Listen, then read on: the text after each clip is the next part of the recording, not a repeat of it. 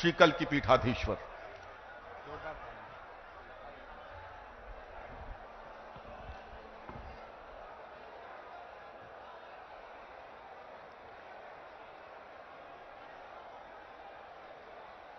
परम सम्मानित परम आदरणीय परम सद्धे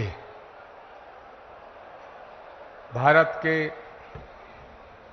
यशस्वी तेजस्वी, ओजस्वी और तपस्वी प्रधानमंत्री श्री नरेंद्र मोदी जी का इस कल की धाम की पावन धरा पे मुझे स्वागत करने के लिए कहा गया है। माननीय प्रधानमंत्री जी, ज़िंदगी में कभी कभी ऐसे पल आते हैं जब शब्द खो जाते हैं। वाणी थम जाती है। शबरी के पास बेर थे। विदुर के पास साग था। लेकिन हमारे पास तो आपका स्वागत करने के लिए सिवाय भावनाओं के, पुष्पों के कुछ भी नहीं है, कुछ भी नहीं है। माननीय प्रधानमंत्री महोदय, इस मंच पे परम श्रद्धे स्वामी अवधेशानंद गिरी जी परम श्रद्धे स्वामी कैलासानंद जी, सदगुरु रितेश्वर जी महाराज, और उत्तर प्रदेश के लोकप्रिय और सशक्त मुख्यमंत्री आदित्यनाथ जी महाराज विराजमान हैं। मैं सबको उनके श्री चरणों में अपना प्रणाम निवेदित करता हूँ। माननीय प्रधानमंत्री जी देश के कोने कोने से आए तमाम संत वृंद। कोई हरिद्वार से पधारा है, कोई गुजरात से पधारा है, कोई तमिलनाडु, केरल और आंध्र प्रदेश से पधारा है, कोई आसाम से आया है, कोई देवभूमि उत्तराखंड और हिमाचल प्रदेश से आया है। ये हज़ारों संतों का जो समूह आज इकट्ठा हुआ है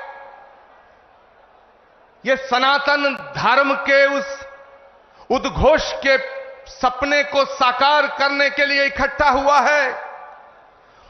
वो सपना जो 18 वर्ष पूर्व एक संकल्प के रूप में हमने देखा था, वो सपना जो ऋषि मुनि महात्माओं ने, त्यागी तपस्वियों ने आदिकाल से लेकर आज तक देखा कि पुराणों का उद्घोष है। कि जब जब धरती पे अधर्म बढ़ता है, सज्जनता पर खतरा उमड़ता है, भगवान कृष्ण का गीता में उद्घोष है कि परित्रणाय साधुनाम विनाशाय च दुष्कृताम, धर्म संस्थापनार्थाय संभवामी युगे युगे, यदा यदा ही धर्मस्य ग्लानिर्भवति भारत अभित्थानम अधर्मस्य तदात्मनम सृजामहम भगवान कृष्ण का जो गीता में उद्घोष है श्रीमद भागवत के बारहवें स्कंद में उल्लेखित है कि जब धरती पर, धरा पर पाप बढ़ जाएगा, अधर्म बढ़ जाएगा तो उस अधर्म का नाश करने के लिए, धर्म की पुनर्स्थापना करने के लिए भगवान हर युग में आया है और हर युग में आएगा। इसीलिए संस्कृत का श्लोक श्रीमद भागवत में, संभल ग्राम मुखस्य ब्राह्मणस्य महात्मना, भवने विष्णु यशस्य कल की प्रादुर्भविष्यति। इसका मतलब है कि भगवान त्रेता में, राम के रूप में, अयोध्या में आए, द्वापर में, कृष्ण के रूप में, मथुरा में आए और भगवान कल युग में श्री कल की निष्कलंक के रूप में इसी धरा पर अवतरित होंगे। माननीय प्रधानमंत्री जी महोदय, भगवान जहाँ आता है, वो धराधाम बन जाती है। अयोध्या में जितना काम भगवान का आपके हाथ से हुआ, ये ऐसा संयोग है जो सनातन धर्म और इस राष्ट्र की, इस ध्वजा को पूरे विश्व में फैलाने का काम, फहराने का काम, भारत की संस्कृति जो वसुधैव कुटुंबकम और विश्व बंधुत्व का संदेश देती है, उसको पूरी दुनिया में पहुँचाने का काम अगर आज कोई कर रहा है, वो भारत के यशस्वी प्रधानमंत्री नरेंद्र मोदी कर रहे हैं। माननीय प्रधानमंत्री महोदय, ये एक और अद्भुत संयोग है कि भगवान राम के सारे काज आपके कर कमलों द्वारा हुए हैं। और आज का ये दिन, ये शुभ घड़ी, जिसे देखने के लिए कितनी ही आँखें जो बंद हो गईं, ये शुभ घड़ी,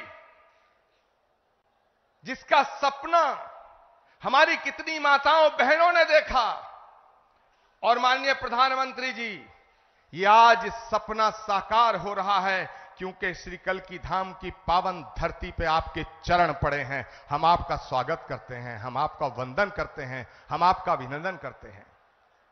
मैं अपनी वाणी को विराम देने से पहले एक बात ज़रूर कहना चाहता हूँ। यह कल की धाम श्री कल की धाम जहाँ भगवान आएगा, आज श्री कल की धाम की आधारशिला माननीय प्रधानमंत्री जी के कर कमलों द्वारा स्थापित हो चुकी है। अब वो दिन दूर नहीं है जब भारत में राम राज्य की पुनर्स्थापना होने का समय आ चुका है। एक बात कहते हुए अपनी वाणी को विराम दूँगा। जब मैं प्रधानमंत्री जी को आमंत्रित करने गया था तो मुझे नहीं लग रहा था कि प्रधानमंत्री जी मेरे निमंत्रण को स्वीकार कर रहेंगे लेकिन आप सब संतों के आशीर्वाद से, तमाम लाखों करोड़ों भक्तों की प्रार्थनाओं से, माननीय प्रधानमंत्री जी ने मेरे निमंत्रण को स्वीकार किया। माननीय प्रधानमंत्री जी महोदय, जब आपकी तरफ़ से एक ट्वीट आया तो सारे देश के लोग, सारी देश की मीडिया मुझसे लगातार पंद्रह दिन ये पूछती रही कि क्या प्रधानमंत्री जी आएँगे? मेरे पास कोई उत्तर ना था, लेकिन एक उत्तर था। उन्होंने पूछा, क्या उन्होंने कुछ लिख के दिया है? मेरे पास आपका लिखा हुआ कोई पत्र नहीं था।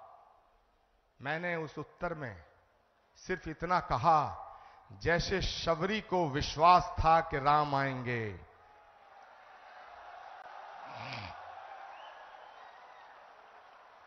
जैसे विदुर को विश्वास था कि कृष्ण आएँगे।